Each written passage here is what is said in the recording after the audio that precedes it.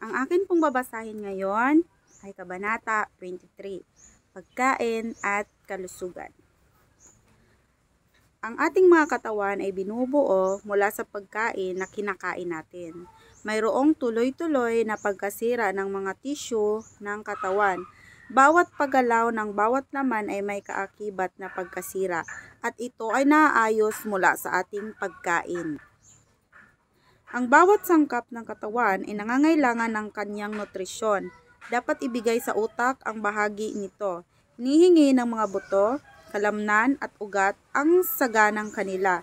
Ito ay isang kamanghamanghang prosesong nagbabago ng pagkain sa dugo at gumagamit ng dugo na ito upang mabuo ang iba't ibang bahagi ng katawan. Ngunit ang prosesong ito ay walang patid na nagbibigay ng buhay at lakas sa bawat ugat, kalamnan at tissue. Pagpili ng pagkain. Dapat piliing mabuti ang mga pagkaing nagbibigay ng mga sangkap na kinakailangan ng katawan. Sa pagpili, ang gana sa pagkain ay hindi tamang gabay. Sa pamamagitan ng maling kinagawian sa pagkain, ang gana sa pagkain ay naging baluktot. Kadalasan hinahanap nito ang pagkaing nakaaapekto sa kalusugan at nagdudulot ng kahinaan sa halip na lakas. Hindi tayo ligtas na magagabayan ng mga kinagawian ng lipunan. Ang sakit at pagdurusa na saan man ay naroroon ay dahil sa mga sikat, sa, sikat na pagkakamali tungkol sa dieta. Upang malaman kung ano ang pinakamabuting pagkain, dapat nating pag-aralan ang orihinal na plano ng Diyos para sa kainin ng tao. Siyang lumikha ng tao at nauunawaan ang kanyang mga pangangailangan ay nagtalaga kay Adan ng kanyang makakain. Tingnan ninyo, sabi niya, ibinigay ko sa inyo ang bawat halamanan at naka, nagkakabinhi at ang bawat punong kahoy na may binhi sa loob ng bunga, ang mga ito ay magiging pagkain ninyo. Genesis 1 verse 29. Nang iwan ng Eden upang maghanap ng kanyang kabuhayan sa pamamagitan ng pagtatanim sa, pagtatanim sa lupa dahil sa sumpa ng kasalanan. Ang tao ay tumanggap ng pahintulot na kumain din ng tanim sa parang. Genesis 3 verse 18. Ang mga butil, prutas, mani at, at gulay ang bumubuo sa dietang pinili para sa atin ng may lalang. Ang mga pagkain ito na inihanda sa simple at natural na paraan hanggat maaari ay ang pinaka pinaka na pinaka na kapag papalusog, nagbibigay sila ng lakas, lakas ng kalamnan at lakas ng pag-iisip na, na hindi na ibibigay ng mas komplikado at nakatatakam na pagkain. Ngunit, hindi lahat ng mga pagkaing mabuti ay angkop sa ating mga pangangailangan sa anumang pagkakataon. Dapat maging maingat sa pagbili ng pagkain. Ang ating dieta ay dapat naangkop sa panahon, sa klema, kung saan tayo nakatira at sa trabaho natin. Ang ilang mga pagkain na inangkop para magamit sa isang panahon o sa isang klema ay maaaring hindi angkop sa iba pa. Kaya mayroong iba't ibang mga pagkain pinakaangkop para sa mga taong may iba't ibang mga trabaho. Kadalasan, ang pagkain maaring magamit ng benepisyo ng mga nakatuon sa mabibigat at pisikal na paggawa ay hindi angkop para sa mga taong hindi masyadong kumikilos o mas gumagamit ng kaisipan. Binigyan tayo ng Diyos ng maraming iba't ibang mga nakapagpapalusog na pagkain at dapat pumili ang bawat tao mula sa mga ito na ayon sa karanasan at mahusay na pagpapasya, pagpapasya ay mga pinakaangkop sa kanyang sariling pangangailangan. Ang saganang supply ng mga prutas, mani at butil ay sapat sa taon-taon. Ang mga produkto ng lahat ng mga lupain ay higit na karaniwang ipinamamahagi sa lahat sa pamamagitan ng pagdami ng mga pasilidad para sa transportasyon. Ang resulta ay ang pagdami ng mga pagkain na dati ay mamahalin at ngayon ay abot kaya na ng lahat bilang mga pagkain para sa pang-araw-araw. Lalo na dito ang mga pinatuyo na dilatang prutas. Higit na dumarami ang gamit ng maning humahalili sa karne. Humahalili na sa karne. Sa mga mani ay maaaring samahan ng mga butil, prutas at ilang mga ugat upang gumawa ng mga pagkaing nakapagpapalusog at nagpapasariwa. Gayunman, dapat maging maingat, huwag masyadong gumamit ng napakaraming mani. Ang mga nakakaintindi sa mga masasamang epekto ng paggamit ng mga pagkaing may mani ay makikitang ang kahirapan ay nawala sa pamamagitan ng ganitong pag-iingat. Dapat ding alalahanin na ang ilang mga mani ay hindi gaanong kapaki, kapakinabang gaya ng iba.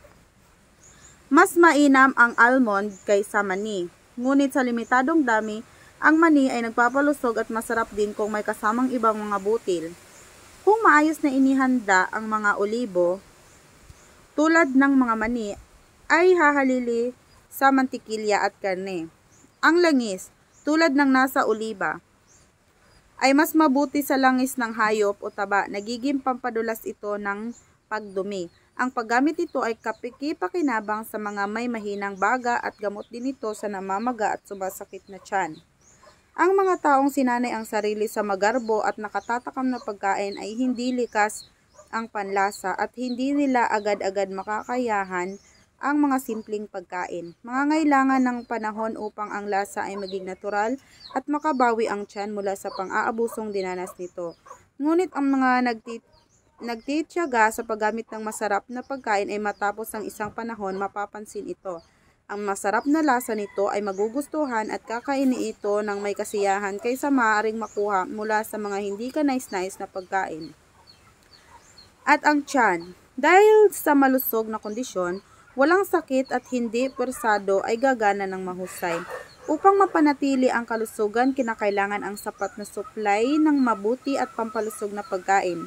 Kung magpaplano tayo ng matalino, ang pinakaaya-aya sa kalusugan ay masisiguro sa halos lahat ng lupain. Ang iba't ibang kalusugan ay masisiguro sa, lahat, sa halos lahat ng lupain. Ang iba't ibang mga paghahanda ng bigas, trigo, mais at oats ay ipinagdadala sa ibang bansa. Pati na rin ang beans at lintel. Ang mga ito, kasama ang mga katutubo, inaangkat na prutas at ang iba't pang at ang iba't ibang mga gulay na tumutubo sa bawat lokalidad ay nagbibigay ng pagkakataon upang pumili ng isang kompletong jetang walang paggamit ng karne ng hayop. Kung saan maaaring lumago ng sagana ang prutas dahil ihanda ang isang masaganang supply para sa taglamig sa pamamagitan ng paglalagay sa lata o pagpapatuyo. Ang mga malilit na prutas tulad ng mga gooseberry, strawberry, raspberry at mga blackberry ay maaaring lumaki upang pakinabangan sa maraming lugar ngunit kung hindi masyadong gagamitin ang mga ito'y napapabayaan. Sa mga latahin sa bahay, gamitin ang baso sa halip ng mga lata at gawin itong tuwing may pagkakataon, kinakailangan na ang prutas ay nasa maayos na kondisyon. Gumamit ng kaunting asukal at lutuin lang ang prutas upang matiyak ang pagtagal nito.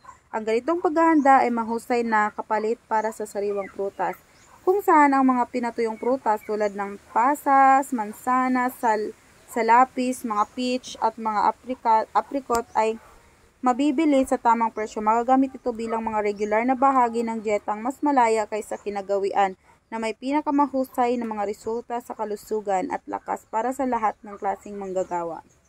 Hindi dapat maging mas marami ang isang uri lang ng pagkain sapagkat ay nahihikayat ito ng sobrang pagkain at nagiging sanhi ng di pagkatunaw.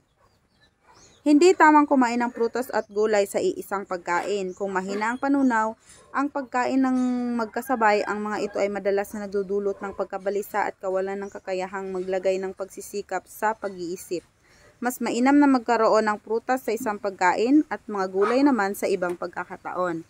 Iba-iba dapat ang mga pagkain, ang parehong luto na inihanda sa parehong paraan, hindi dapat lumitaw sa mesa araw-araw. Mas masarap ang mga pagkain at ang sistema ay mas mahusay na napagagana kapag iba-iba ang pagkain. So, sa next natin na babasahin ay paghahanda ng pagkain naman. Kumain ng madalas, huwag kumain ng madalas, huwag kumain ng malakas, huwag kumain ng madami.